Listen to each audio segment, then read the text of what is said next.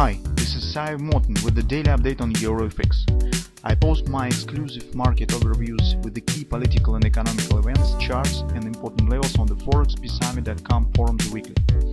This short video is a response to rapidly changing situation on the currency markets and should help you to stay on top of the game and be profitable.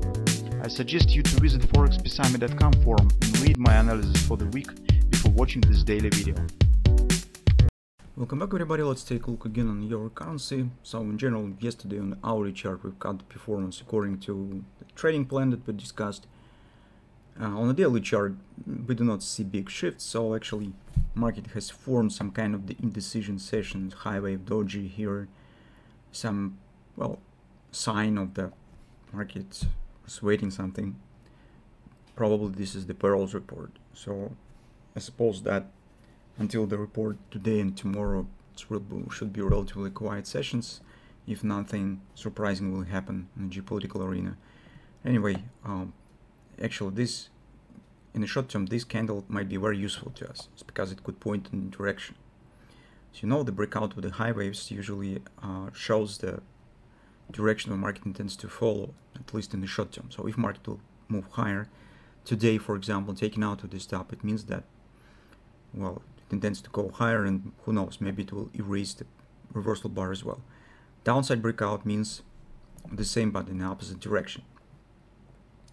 At, the, at this moment, well, market currently is calling inside the range of the uh, high wave. For me, it is a bit not sufficient bullish context, and uh, and this reversal bar on the daily chart means for me more than some maybe bullish signs that we have on lower time frames. So uh, that's why currently, until we get some clear bullish patterns on hourly chart, I do not want to consider taking the long position. So, uh, for instance, if we would get here the grabber on the daily chart at some support area, that might be different story. So we could consider because it provides small risk, it provides clear pattern, and at least this is something that we could try and to use. But currently we have big sell-off the reversal bar and just high wave. It's not sufficient. So on the follow time frame chart, uh, mostly this picture stands the same. Here are the two not good moments for a bulls. First moment we already have uh, mentioned recently, this is a divergence, and it suggests that market should take out of the C point.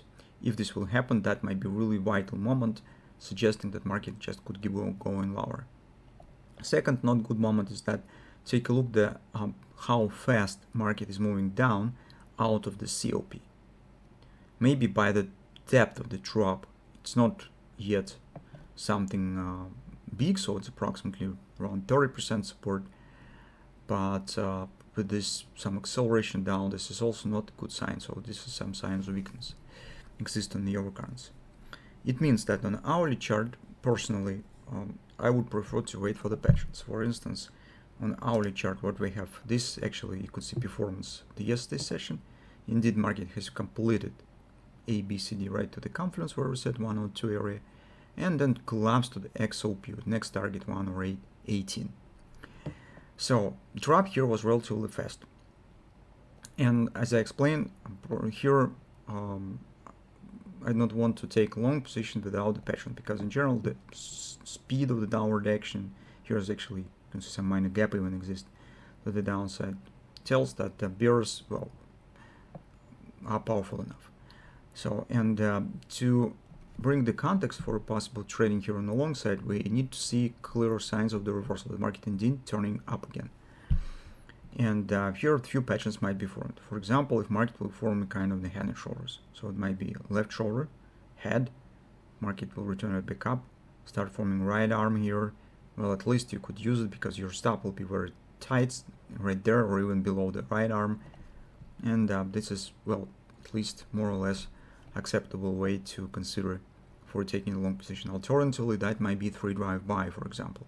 Stickle, this is first drive, second stance 127, third will be slightly below the XOP. XOP, by the way, has not been hit for a few pips, as you can see. So here's market could complete the free drive, and you also could try to use it for position taking if we will not have something of this kind, of this drop on the third drive. We need gradual retracement, gradual downward action. So um, in this case, you could use the free drive for the placing stop either below the major 618 or just below the third drive especially if you control the reversal with the five minute time frame pattern. For instance, if market could form here a minor butterfly or some other minor reversal pattern. That's great. at least at, uh, until we will get it, um, it's not sufficient background for considering taking the long position. That's just my view. If you have taken the short position here and you still keep, well, just move stops to the break-in and see what will happen. Because um, major action might happen tomorrow on uh, non-farm payrolls, and probably investors right now will be watching and just uh, sit on the hands. Hardly they will do something before it. That's approximately what we have in euro currency. And so uh, let's keep watching what will happen. And uh, bears, if you have the uh, based on the reversal bar or based on yesterday, at least equal to positions, you could hold them. Small stops at the break even. Um, if you would like others who would like to take the long position, I suggest that it would be better to wait for a clear patience.